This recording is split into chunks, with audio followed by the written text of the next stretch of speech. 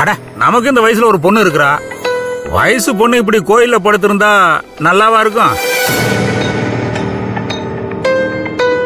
விடிஞ்ச உடனே ஊருக்கு போயிடணும்னு சொல்லி சத்தியம் வாங்கிட்டு தான் கூட்டிட்டு வந்திருக்கிறேன்.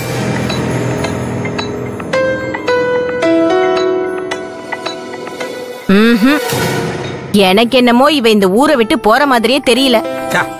அது நல்ல பொண்ணு. சத்தியத்தை காப்பாத்தும். குளிச்ச உடனே ஊருக்கு கிளம்பிரும்.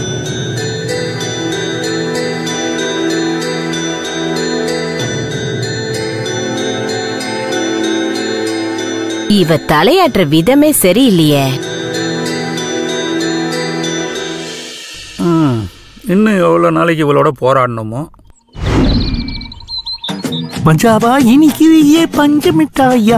ஐயோ பஞ்சு மிட்டாயா? ஐயோ பஞ்சு மிட்டாயா? மஞ்சாவா இனிக்கிறிய பஞ்சு மிட்டாயா? ஐயோ பஞ்சு மிட்டா?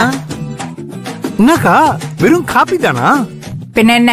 காப்பியில சாராயத்தை ஊத்தி கொடுப்பாங்களா? அக்கா நீ ஒரு ஃபேமிலி கேர்ள் சாரி ஃபேமிலி ஆயா? இப்படிலாம் பேசக்கூடாது.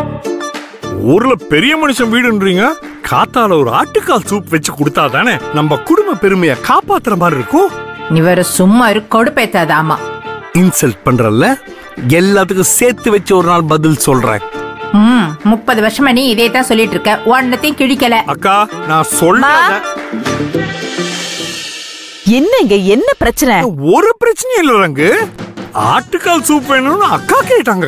இப்போ குடும்பம் இருக்க சுச்சுவேஷன்ல காப்பியே அதிகம்னு சொல்லிட்டு இருந்தேன். இத நான் நம்பணுமா?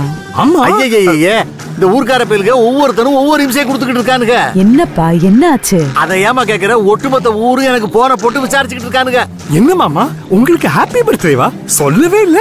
வழக்கம் போல ஆசீர்வாதம் வாங்குறேன். ஏதாவது காசு கொடுங்க